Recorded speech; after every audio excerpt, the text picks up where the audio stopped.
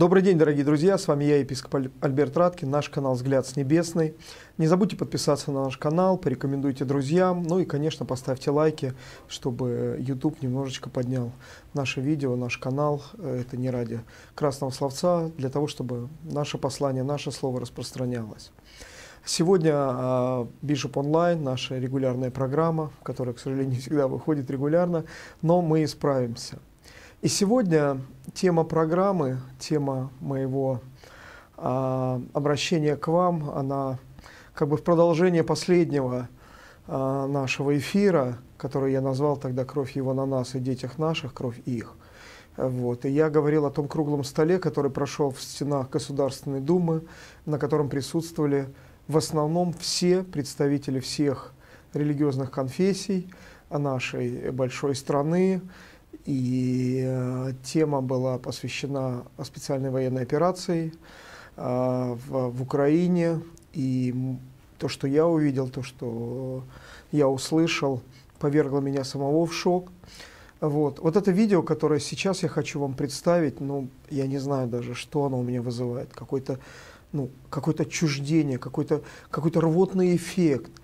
Мы намеренно не давали вам э, видео, только было мое объяснение статьи в одной газете, которая очень точно расставила акценты на всем. Но давайте посмотрим несколько выступлений, в том числе и выступления э, протестантского епископа, которого вы узнаете все.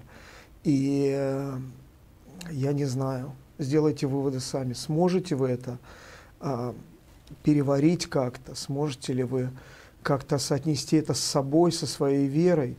Э, со своими ценностями, я так скажу, со своим сердцем или нет, ну, решайте сами. Вы посмотрите, э, что, что, что, они, а, что они проповедуют. Даже они Украине поклоняются как Богу. Украине. У них молитва Украине. Не о Украине, не об Украине, а Украине. Понимаете? Даже возьмите вот их трезубец. Что такое этот трезубец, который у них на гербе Украины? Я заканчиваю, подождите. Этот трезубец не что иное, как э, сокол Ророга, лже-бога скандинавской мифологии. Об этом же никто не говорит. Это лже, э, а кто, кто эту скандинавскую мифологию внес в Украину? Это австро-венгерская э, такая пропитка, которая еще в 19 веке туда была внесена, национальная. Поэтому, друзья мои, надо заниматься серьезными научными исследованиями, в том числе в религиозной, этнической сфере, и давать реальные ответы на все эти серьезные вопросы. Потому что если мы не будем называть вещи своими именами, то нам так и будут говорить, что мы якобы воюем, э, христиане воюют с христианами. Ничего подобного. Нацисты не христиане. Аминь. А, я хочу сказать, что, что мы, мусульмане России, представители всех муфтиятов, все муфтии России должны говорить одно. Если мусульманин, который принимает участие в военной операции по искоренению вот этого нацизма, фашизма, сатанизма, я за, э, хочу заметить, что под этими флагами американцев, европейцев, э, собрались кто там? Кто там вообще?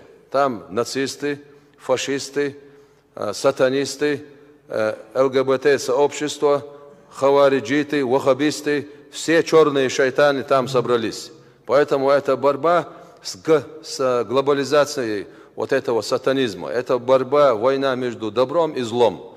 Поэтому у, у, мусульманина, у которого намерение ради Аллаха, ради Корана, ради пророка Мухаммада, ради всех ценностей, он является мужайдом. Он, это, это и есть джихад, который э, на, э, на пути Всевышнего Аллаха, и павший в этой битве будет шахидом. Это надо нам освещать, это надо нам просвещать нашу молодежь, чтобы люди правильно понимали, вот если мы, сплотившись, выиграем вот эту информационную войну, то победа будет за нами. Если мы будем, э, не как некоторые религиозные деятели, сидеть на заборах, туда-сюда смотрят, кто выиграет. Они говорят, мы за мир. Хороший лозунг за мир.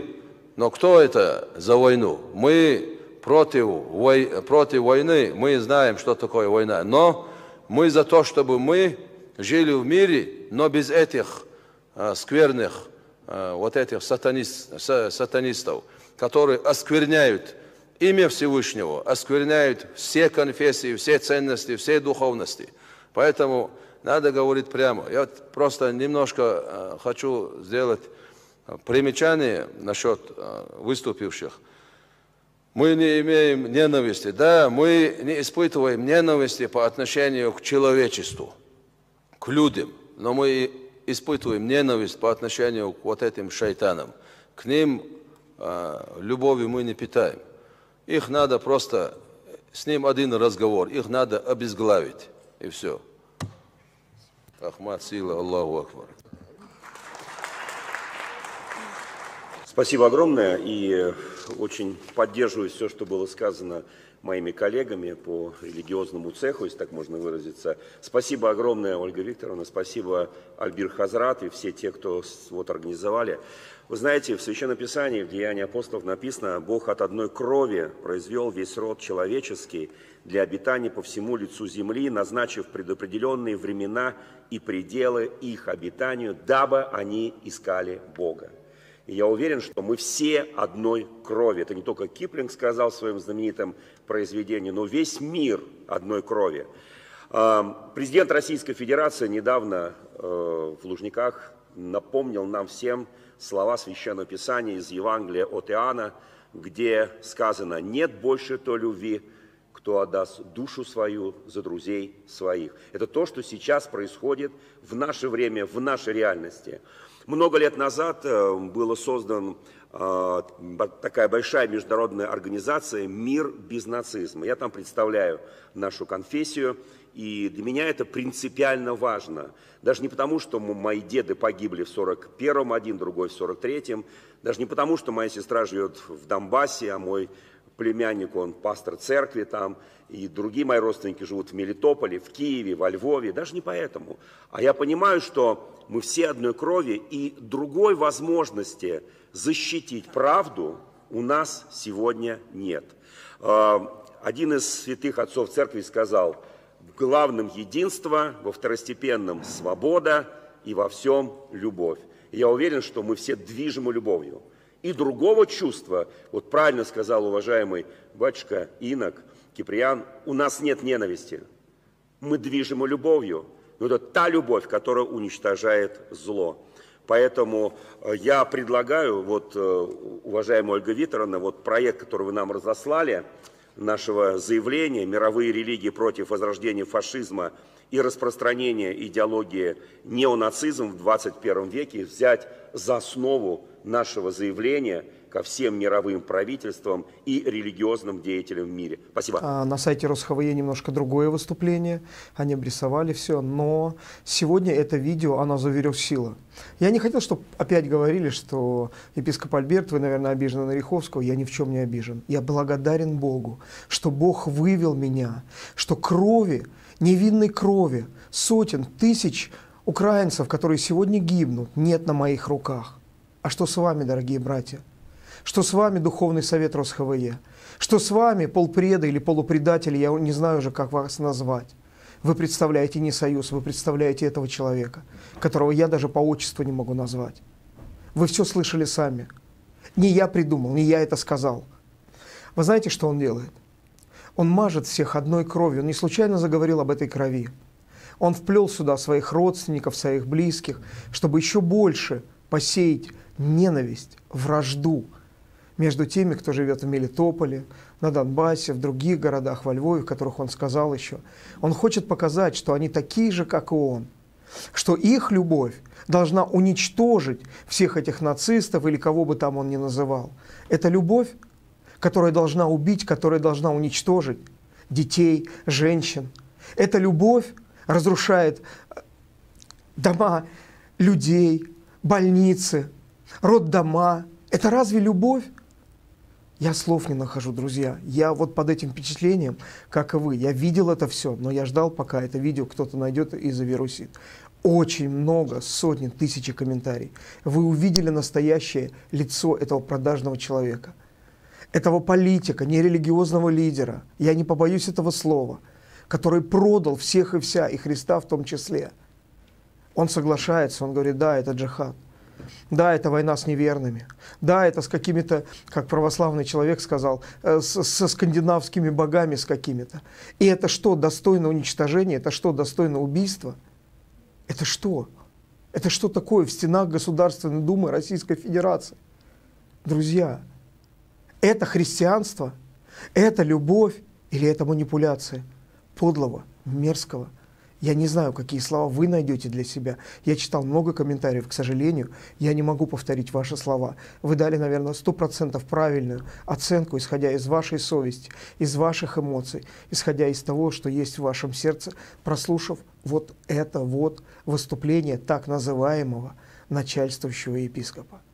Я оставил, я ушел, я вышел, я не смог больше там быть, все это слышать, слушать. И вот в сегодняшнее время все это еще больше и больше проявилось. У меня большой вопрос к полпредам.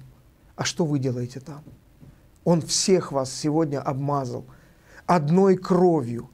Вы сегодня, Дмитрий Шатров, Андрей Дериенко, вы сегодня, а, Мацула, Рик Реннер, Олег Попов, Неретин – Василий Витюк, вы сегодня ратуете за эту кровь. Вы сегодня благословляете убийство и называете это любовью, потому что вы там. Потому что вы в этом совете нечестивых, вы поддерживаете это. Вы называете это духовным советом. Вся ваша духовность лишить кого-то жизни, вы соглашаетесь, потому что вы часть этого. Есть полпреды, полномочия представителей, не РосХВЕ, как кто-то их написал – не, это значит начальствующего епископа. Это не РосХВЕ. Вы работаете на этого человека. Я не называю его больше по отчеству. Для меня его брат Владимир Васильевич заслуживает того, чтобы этого человека называть по отчеству.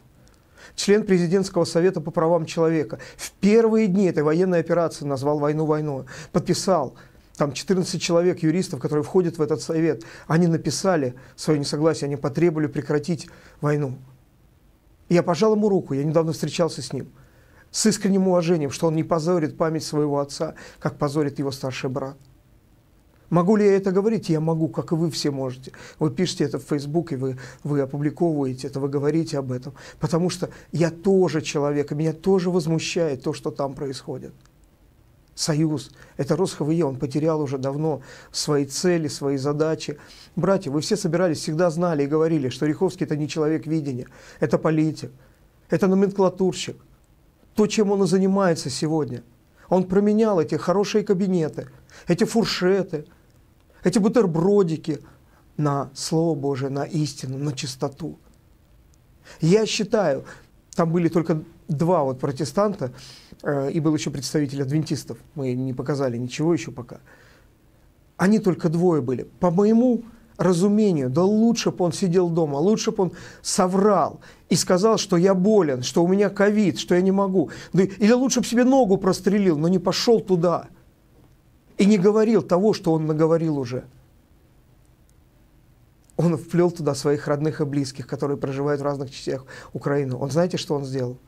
Он посеял вражду сегодня в их сторону, чтобы украинцы, христиане, пастыри, епископы считали, они знают, кто его родные, они знают, какие церкви они возглавляют, где они служат, чтобы они стали к ним относиться предвзято, ненавидеть, возможно. Это то, чем занимается сатана.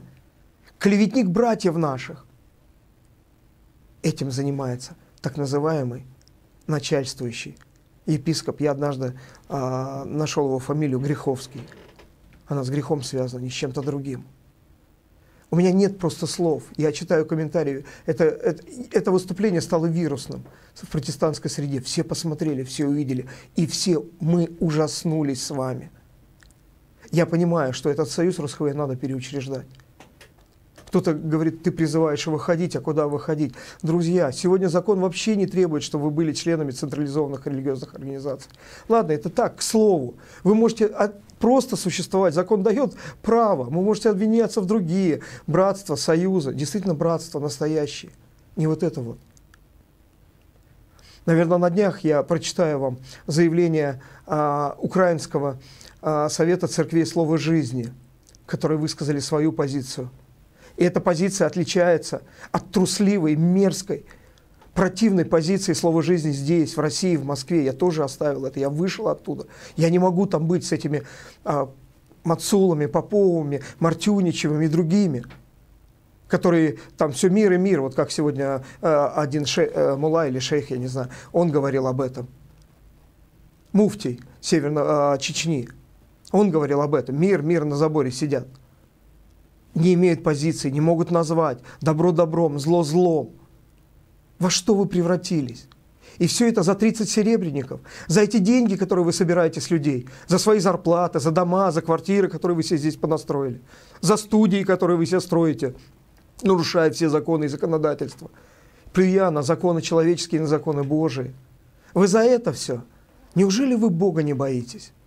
Неужели вы, вам не стыдно вот жить? Ну, я не нахожу слов. Жить как люди, жить по-человечески – это люди, это слова человека, это какие-то нелюдские слова, прикрывающиеся. Главное – любовь.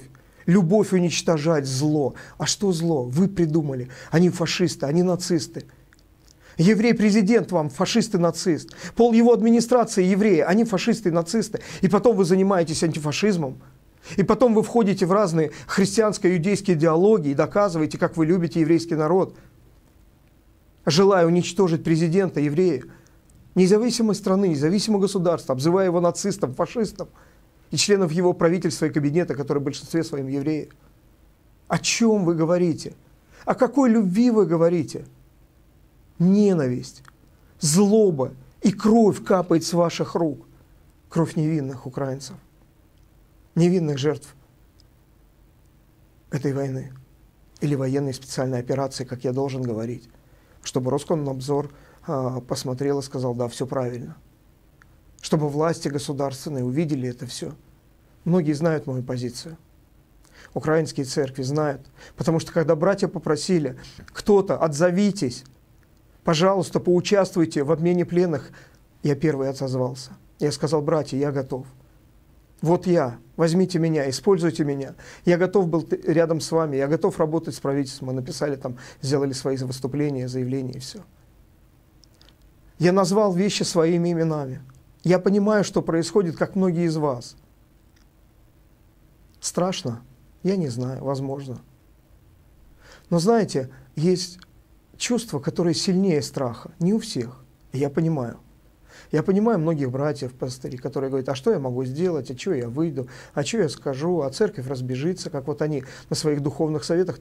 Вы знаете, они только об этом и говорят, чтобы не потерять свою паству, не потерять деньги, не потерять десятины, не потерять пожертвования, чтобы жить им хорошо, кушать сладко. Посмотрите все их фотографии, все их инстаграмы, все их э, только и завалены, они в ресторанах, они едят – где бы они ни находились. Они отправили своих детей уже в США, в Европу. И кто-то сами туда уехали. Помощник Ереховского, Павел Рындич, там в США, вроде говорит, Павел, я тебя знал как честного человека всегда. Тебе братья украинцы предложили, давай купим билет, приезжай сюда, в свою церковь, в свою страну. Не ваше дело, не лезьте, не... Может быть, это тоже не мое дело. Я знаю, ты смелый человек, ты первый из русских епископов начал разговаривать с контуженным пастором, как его называют, с Геннадием Махненко. Ты не побоялся гнева и всего. Что сегодня с вами происходит? Вы оправдываете, ваши проповеди полны ненависти, вы поддерживаете войну. Вы в какого Бога верите? Вы в Марса верите? В Бога войны? Вы там сегодня? Вам осталось только раздать оружие – я знаю, что в некоторые церкви уже гробы начали приходить. Матери, ваши прихожанки начали получать своих ребят мертвыми. Мне звонят сегодня, рассказывают. Епископ, а что я должен сказать? Мне пастор звонит. Мне епископ сегодня по дороге, пока я ехал в студию записываться, звонит. Я, говорит, не знаю, что сказать. Я говорю, не выдумывай, скажи. Скажи честно, что ты не знаешь, почему так вышло. Он в гробу мать получила сына, который ходил, молился, посещал наши церкви. Вы их благословляете. На что? На что? Вы забыли, что там братья, что там церкви. Не делайте этого безумия. Не пляшите под дудку. Я не знаю, как назвать этого человека. Я не знаю, видите вы, как рога про, проявляются на его голове уже. Там клейма негде ставить. Он продал всех и вся уже. Я об этом давно говорю. Это не моя личная обида. Я, я, я не такой человек. Мне стыдно сегодня за церковь, за нашу церковь в России. За трусливую, за боящуюся, за церковь, которая хочет угодить. Кому вы хотите угодить? Духу войны? Это ненависти. Сегодня мой дорогой друг, мой брат, а, пастор Ташкентской церкви, который вот находился какое-то время в Украине, проходил лечение, и сейчас он выехал из страны. Пастор Денис Подорожный, он обратился к Сергею Риховскому, или Греховскому, с письмом. Он обратился к нему, он знает этого человека. Да не только он. Пастор Артур Симонян уже давно набрался смелости выступает, и говорит, и называет вещи своими именами. Вы скажете, ему в Армении легко войну войной называть, нам в России это запрещено. Подумайте над этим. Кто вам что запрещал? Вспомните первую церковь, когда запретили заговорить о Христе, когда вообще запреты начинаются. Они сказали, кому нам больше подчиняться? Кому нам больше слушаться? Сегодня Артур Симонян выступает и говорит везде, и не стесняется, и не боится, потому что он пережил сам. Он говорит, когда в мою церковь пришли 8 человек, 8 молодых ребят, я сам похоронил, на могилы к ним езжу с родителями. Мы пережили войну, которая была у нас в Армении. Другие братья вспоминают, войн много сегодня, но они не боятся говорить и называть вещи своими именами. Здесь трусливые, здесь мерзкие, здесь такие вот шкурные, я не знаю, пастыря, епископа, кто они? Сами себя поназывали. Я говорю, это точно и откровенно, потому что в слово жизни России они сами себя провозгласили сами себя руку положили. Знаете, это, я был на этих служениях, говорю, что вы делаете, как такое вообще возможно? Возможно. Мы от движения себя рукополагаем. Те, которые не верили в епископов, после каждого собора Мацула говорил, мы не верим, пастор Юльф не верит, пастор Юльф не верит, мы никаких епископов, мы слово жизни, у нас ДНК. Вдруг уверовали, вдруг сам стал епископом. Благодарю Богу, что я в начале, в середине 90 был рукоположен и благословлен на это служение. Никто из них ко мне никакого отношения не имел, и я ничего общего с ними не имею. Почему вы до сих пор в этом духовном совете? Сегодня кровь на ваших руках. Кровь невинных людей, невинных детей, убитых, замученных, изнасилованных. Пастор Денис Подорожный написал такие слова. Он называет его по отчеству, Сергею Васильевичу Риховскому. Я бы так не написал, у меня просто сил моральных больше нет. Называть его. У него был отец, который сидел, страдал, который выступал против этого безбожного государства, который никогда бы не оправдал войну, который, наоборот, говорил мальчишкам, ребята, есть да-да, нет-нет, не клянись ни небом, ни землей – и они тогда, писятники, баптисты, они не принимали присягу. Они шли в тюрьму, они шли в дисбаты, потому что не хотели принимать присягу. Сегодня многие на показ выставляют, как плюете на Слово Божие. Идете своих детей благословляете. На присягу, на войну, на все остальное. Вы уж определитесь, крестик или трусы. Я говорю метафорически, вы понимаете, о чем я говорю. Я знал вас лично, пишет пастор, друг, человек с большой буквы, Денис Подорожный. Много служили и общались лично. Но с 2014 года вы заметили, что мое отношение к вам изменилось. Причиной стало то, что служитель Божий должен оставаться слугой Господа, а не прислужником Господ. Одно дело, когда вы искренне трудились для Господа и помогали церквям. Это было здорово и похвально. Сегодня на ваших руках есть кровь убиваемых украинцев. Ваше лицемерие в данной ситуации послужило основанием для лжи или молчания многих христиан. На конференции против фашизма вас охарактеризовали как человек душой за Донбасс. И вы цитируете, нет больше той любви, как если кто положит душу свою за друзей своих, напоминая о том, что данный стих Писания был процитированным президентом-убийцей. Я должен оговориться, это слова Дениса Подорожного. Кого он имеет в виду, я не совсем понимаю. И звучало это просто кощунственно. Ваше заявление пояснило всем, что все мы одной крови, и главное, что другой возможности у нас защитить правду сегодня нет. То, что вы сделали, является мерзким, бездуховным, отступническим действием в глазах Бога и всего христианского мира. Вы знаете, что было в Буче, Харькове или в Мелитополе. Это вопрос.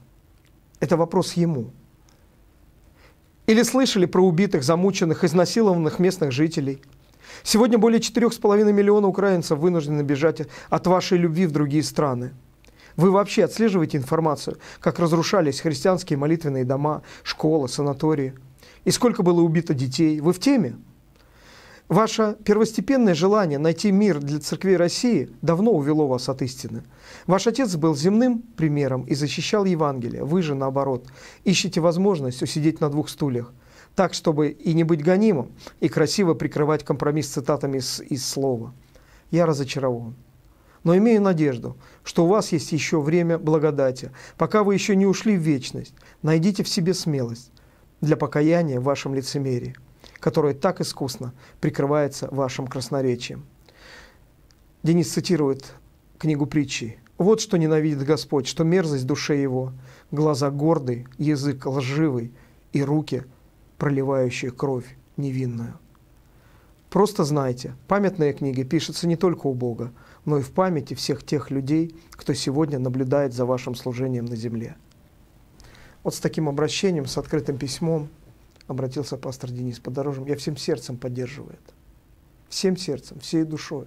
Я понимаю, какой болью отзывается у пастора Дениса то, что он видел, когда бежал из, в первые дни из Киева с семьей, когда дети остались там в метро, и он не мог их забрать. Мама в самом гуще, в самой гуще событий, под бомбами, под градами, под ракетами, под обстрелами. Люди знают, у них есть совесть у них есть имя. Они люди, они человеки. Они не продаются за кусок похлебки, за то, чтобы прийти, посидеть, послушать, чтобы тебя похвалили, сказали, кто ты, что ты и какой ты. Недавно этот человек приезжал в нашу область более месяца назад, собирал там у своего полупредателя, не РосХВЕ, не РосХВЕ, собирал пастырей, которые сегодня также обмазаны кровью. Мне было так интересно видеть люди, которые рядом со мной служили, которых я вкладывал часть своей жизни, своей души. Русские, армяне. Бежали на перегонки, чтобы сфотографироваться, постоять с человеком, у которого душа мясника. Душа полна крови, ненависти. Там нет любви. И вы бежали на перегонки, встать рядом. Вы мне клялись, что для вас пример пастор Артур Симонян – и показывали, кто для вас пример. Что для вас сегодня пример – ненависть. Сколько я комментариев получил. Это возмездие. Они сами заслужили. Что они заслужили? Мне вспоминается, Горький сегодня мем ходит в сети где-то, когда Бог возвал Каину. Каин, где брат твой? И Каин спокойно говорит, я убил его, а иначе бы он напал на меня. Я убил его, а иначе бы он напал на меня. И сегодня ваши руки в крови. Друзья, я знаю, что такие встречи в каждой области происходят периодически, в каждой области Российской Федерации. И вы все сегодня, все, кто бежит на перегонки, чтобы встретиться, побыть, так сказать, под крылом, подтереться, чем? Помазанием, благостью, любовью – чем вы наполняете свои сердца? Что вы приносите в общины? Я знаю, что есть честные люди, их много. И меня удивляет до сих пор, что кто-то из вас до сих пор не отказался быть полпредом или полупредателем. Работать на этого человека, если можно это еще назвать человеком. Не на союз, не на братство. Ваша должность так называется. Я удивляюсь. Хотя чему там удивляться? Этому московскому междусобойчику – этим старосистемникам, эсэсовцам, Деремов, другие братья. Опомнитесь, очнитесь. У вас сегодня есть возможность еще покаяться. Ваши проповеди, они входят в ваши слова, где вы все это благословляете, где вы обо всем этом говорите. Вы сегодня вместе, вы объявили джихад, священную войну против какого-то там Э, бога Стрезубца, которого не знаете, в 18-19 веке. Это древний символ христианства. Еще Москвы не было, а этот был уже. Три зубца, три единый, да? И вы теперь толкуете это вот как это или как то, или как третье, другое. Пусть толкует кто хочет. Неужели вы настолько неграмотный, малограмотный, забитый, затюканный в своей совести, в своем уме, что вы такое позволяете себе в уши вкладывать? В конце он благодарит, что мы все поддерживаем тот документ, который вы нам разослали. Послушайте еще раз. Не они его писали, но они его поддерживают. Им разослали, вот они сидят, обсуждают этот документ и благословляют. Да, мы все вместе, по цеху, цеховики. А что у них за цех такой религиозный?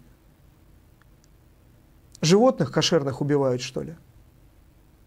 Или не кошерных, или халяльных, я не знаю. Чем вы там занимаетесь? Что за цех у вас? Цех, где вы ходите, потом ходите, благословляете оружие, самолеты, танки – Святым им уже приделали на небесах. Кто за ядерное оружие отвечает, кто за какое другое оружие отвечает. Вот что у них за цех, друзья. Церковь, проснись, трепенись. Пастыри, добрые, братья, у кого еще осталось немножко разума и хоть капля совести, очнитесь. Этот человек, я вам расскажу историю, наверное, пытался всячески и пытается до сих пор опорочить мое имя везде и всюду. Уже подняли на федеральный уровень, везде строчит на меня докладные, бумажки всякие. Мне передают разные люди, говорят об этом. Считают меня какой-то силой, которая борется с ним. Я не борюсь с ним.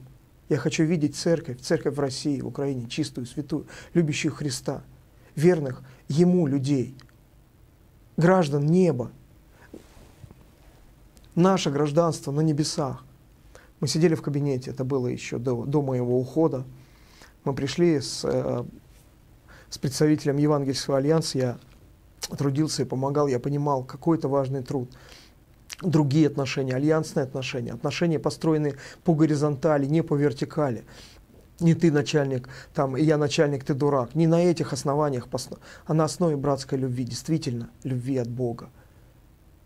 И знаете, одна претензия была ко мне, они сели втроем, а, главный советник, начальствующий епископ, полковник ФСБ, он сам лично, я не буду это имя называть, и сидел рядом еще наш, конечно же, полковник из НАТО, Павел, брат наш, Реннер, который возглавляет в РосХВЕ церковный суд. Наш инквизитор, святой инквизитор, конечно, брат-американец, Пашу я очень хорошо знаю. Да, его просто тянут, и его также обмазывают везде этой крови, от которой они никогда не отмоются. Никогда. И они сидели. Единственная претензия мне была за то, что в рамках проекта «Право на молитву», на котором выступали все, и мусульмане, и христиане. Мы говорили о трудностях, о проблемах в регионах, со строительством молитвенных домов, мечетей, буддийских храмов. Много разных представителей. Католики были, лютеране были, много разных людей было. Мы сидели в кабинете у человека, наверное, мало кто из вас знает, что он награжден лично Рамзаном Кадыровым медалью. И который на белом глазу мне сказал – Альберт, что ты делаешь? Ты не знаешь, кого ты поддерживаешь. Я подписал письмо с просьбой выделить нашим русским татарам в Ленинградской области землю под строительство мечети. Знаете, кто на меня ополчился? Они ополчились. Армяне потом на меня ополчились. Что это? Это фашизм в чистом лице. Ты за, ты за татар, ты за них, ты... Да, и мне этот человек говорит, ты не знаешь их. Я ни одного письма в поддержку их не подписал. Они все террористы. Он сказал это при всех. Вот она, она правда. Сидеть я всех поддерживаю, я соглашаюсь со всеми, что сказали здесь. Им надо отрезать всем голову, я соглашаюсь, я поддерживаю это все. Этим шайтаном, этим всем. А где-то, в другом кругу, злословит, проклинает. А потом еще и хвалится медалькой, которую он получил – герой Чеченской Республики. Я никого не хочу обидеть из чеченцев. И не имею даже этого намека. Я говорю о человеке, который вот так себя ведет, так себя показывает. Это ужас. Это мерзость перед Господом. Это, это сами решите, что это для вас. Я принял решение, на днях я сделаю несколько заявлений – я уже начал над, работать над сборкой Национального Евангельского Альянса, где нет всех этих фамилий, Греховских, Брехловских и прочих Овских. Там будут много достойных братьев, уже много регионов подтвердили свое согласие, участие. Писятники, баптисты, евангельские христиане. Нерегистрированные баптисты мне звонят и пишут, мы тоже хотим работать вместе, трудиться. Есть очень много, что нас объединяет, что мы можем сделать сегодня для нашего народа. Но только не это. Только не это. Я не хочу быть там. Я не хочу быть среди них. И я не буду среди них. С кем вы, решайте сами. Это эмоционально, да. Но другого у меня нет сегодня для вас. Других чувств, других эмоций, других слов я не нахожу увидеть вот это мерзкое, богопротивное заявление. Храните свое сердце, если можете еще, от всего. Да благословит вас Господь. С вами был я, епископ Альберт Раткин. Люблю вас и благословляю.